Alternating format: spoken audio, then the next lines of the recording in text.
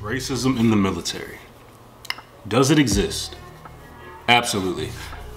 I want to applaud the Chief Master Sergeant of the Air Force, the Sergeant Major of the Army, and the USFK Commander for making their public statements in regards to racism. They're leading from the front, and not a lot of commanders and not a lot of leadership within the military want to do so in regards to this sensitive topic.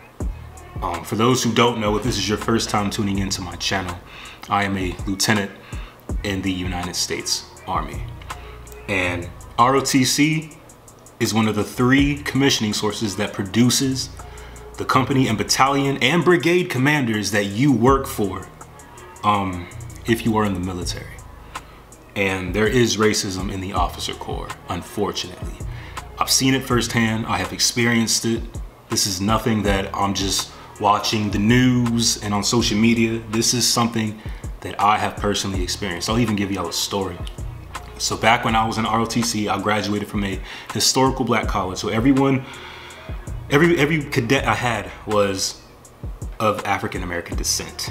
And I was a squad leader at the time. I had a battle buddy who was also a squad leader in another platoon. However, in his squad, he had all the cadets from my school plus the black cadets from their school because it was it's a battalion mixed up of four different universities, right?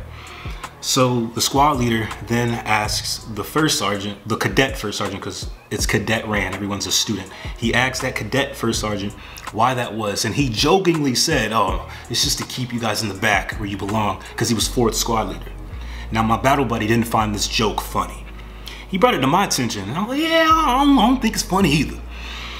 But me being the 19, 20 year old cadet I was, I didn't speak up and I didn't say anything. Now, that cadet first sergeant that made that racial comment, he's a lieutenant leading soldiers. In these, the times that we are in right now, he's probably not gonna say anything or address the issue because in his heart, it's not an issue. Maybe black lives don't matter in his head. I don't know. I'll even give you guys another example, or a couple at that. So we have a cadet who looks like me, goes to a bar, he's underage, gets caught with the phony ID because he had a phony ID to get into the bar. The boss finds out. What is his punishment? He gets cut from the program. No longer can commission as a US Army officer. We have another cadet who doesn't look like me, right? Similar situation around the same time frame. Publicly intoxicated, and also has an altercation with a campus safety officer. Punishment, all he has to do is give a speech at battalion formation at PT about underage drinking. Not exactly the same punishment, right? And I'm not out here pointing fingers because I've done my dirt. However, I had leadership within my chain of command that said, hey, I know you messed up, but I'm willing to work with you if you want to get better. And he actually cared about my personal and professional my personal and professional development, excuse me. And he wasn't so quick to off with his head because of the way I look. Now, I'm not saying this, this situation was racially motivated, but this is how it looks from the outside looking in. And this is what a lot of people thought when that happened. So I'm not the only one. And I love that the Army has programs set up to fight against it. But I'd be a liar to say that it doesn't exist. And being a military YouTuber, I felt it would be a disservice for me not to address this issue, being that I make videos now about the military. One, I'm in the military. Two, I'm black. And three, I'm an officer. So in two to three years, I will be a company commander. And I know my Joes are gonna want a leader who's not afraid to call out something when it's wrong. And I want to challenge the other military YouTubers to do the same, but I know they're not. Many won't. I'm not saying you gotta make a whole video about it, but just know, let your Joes know that you understand that this is a problem. And if you fail to realize it's an issue, or if you just want to ignore that it is, you're a part of that problem.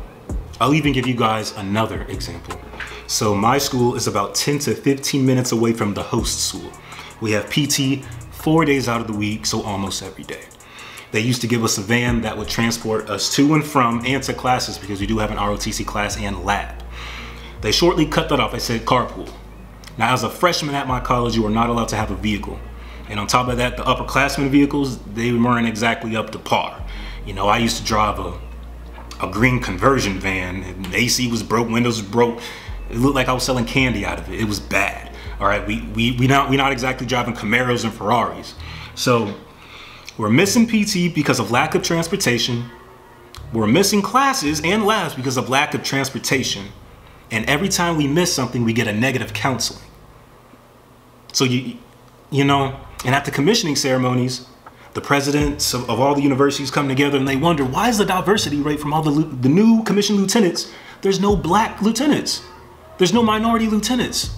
But when you cut the, the resources from the predominantly African American institution and you wonder why there's no African American officers that are commissioning from these two schools, you really get to think like, is this racially motivated? Not saying it is, but this is how it looks. But anyway, y'all, I appreciate you guys tuning in.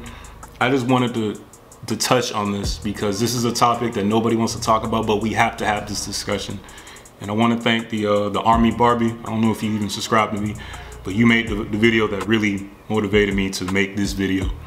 So yeah, I appreciate y'all. Appreciate y'all tuning in, and I'm out.